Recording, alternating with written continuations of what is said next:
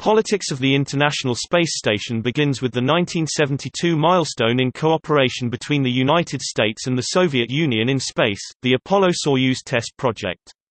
This cooperative venture resulted in the July 1975 docking of Soyuz 19 with an Apollo spacecraft.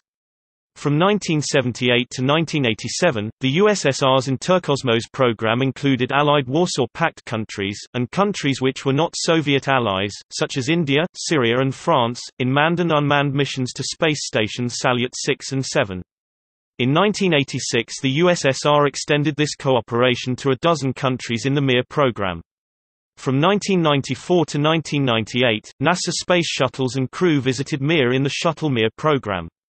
In 1998, assembly of the International Space Station began. In March 2012, a meeting in Quebec City between the leaders of the Canadian Space Agency and those from Japan, Russia, the United States, and involved European nations resulted in a renewed pledge to maintain the International Space Station until at least 2020. NASA reports to be still committed to the principles of the mission but also to use the station in new ways, which were not elaborated.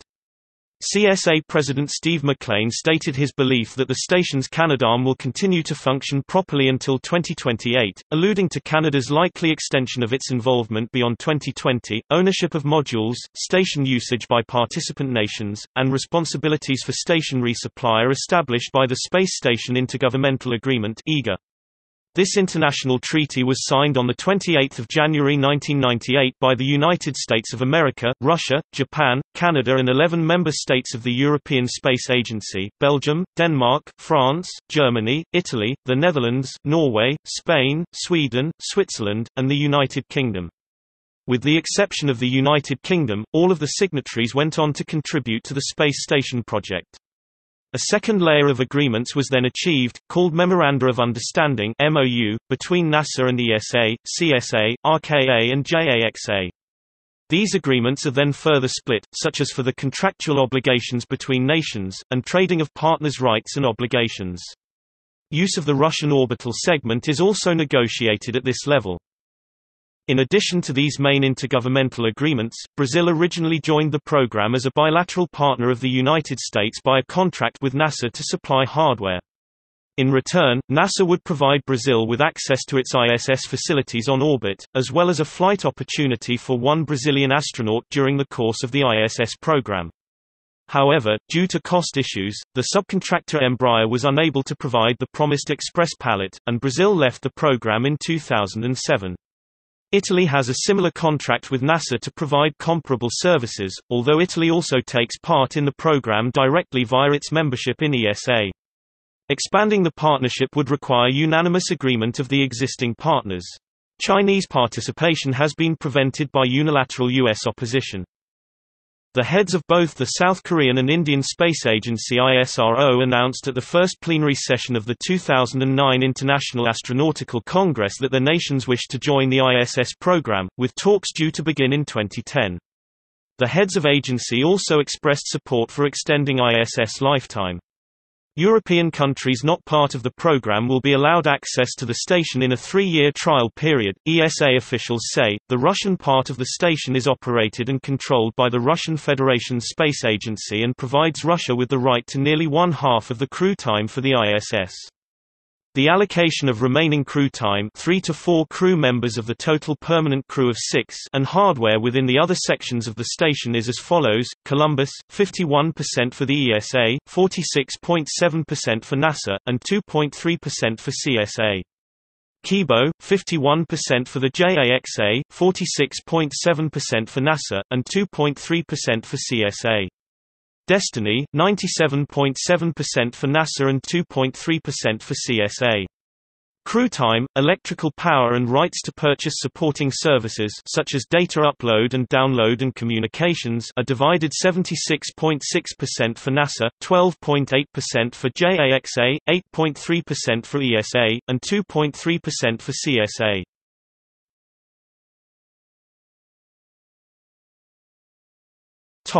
China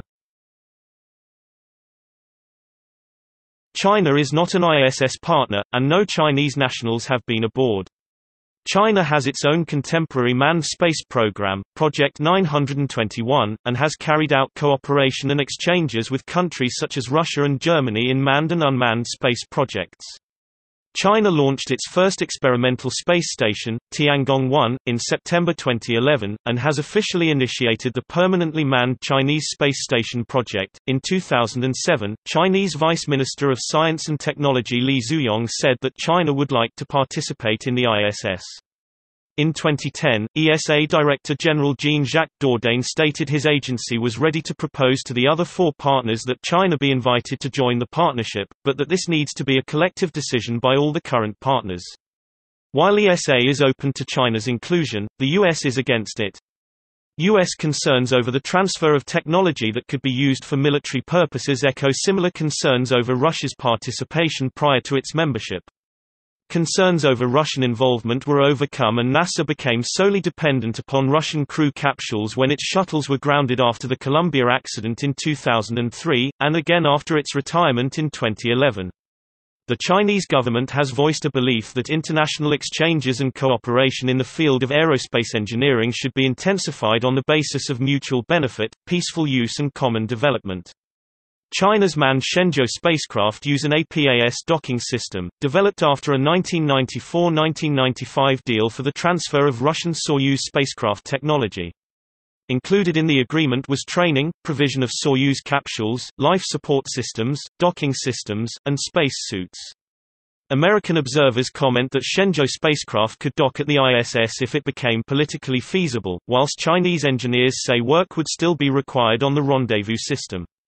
Shenzhou 7 passed within about 50 kilometers of the ISS. American cooperation with China in space is limited, though efforts have been made by both sides to improve relations, but in 2011 new American legislation further strengthened legal barriers to cooperation, preventing NASA cooperation with China or Chinese-owned companies, even the expenditure of funds used to host Chinese visitors at NASA facilities, unless specifically authorized by new laws.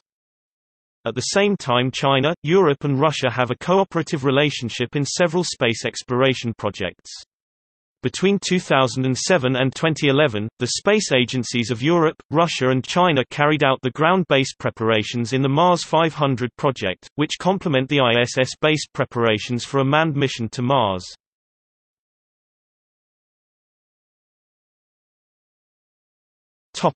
Brazil Brazil joined the ISS as a partner of the United States and this included a contract with NASA to supply hardware to the space station. In return, NASA would provide Brazil with access to NASA ISS facilities on orbit, as well as a flight opportunity for one Brazilian astronaut during the course of the ISS program. However, due to cost issues, the subcontractor Embraer was unable to provide the promised express pallet, and Brazil left the program in 2007. Regardless, the first Brazilian astronaut, Marcos Pontes, was sent to ISS in April 2006 for Expedition 13. This was Brazil's first space traveler and he returned to Earth safely. Pontes trained on the Space Shuttle and Soyuz, but ended up going up with the Russians, although he did work at the U.S. Johnson Space Center after returning to Earth.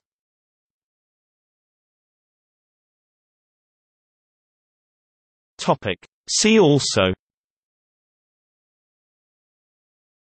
Space advocacy. Space law. Space policy